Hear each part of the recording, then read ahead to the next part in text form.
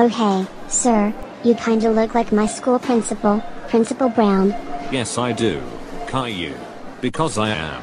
Or at least I was. I quit my old job so I could work here at this airport.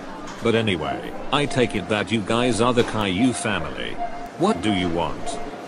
We would like four plane tickets to the Bahamas, as well as four passports to leave the country. Alright, I just registered you guys in.